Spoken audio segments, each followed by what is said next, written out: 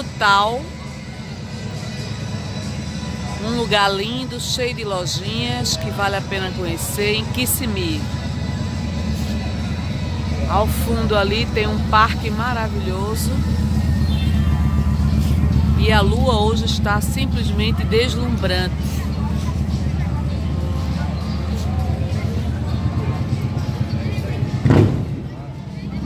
Olha ali ao fundo a roda gigante. Pense no parque. Vale a pena conhecer.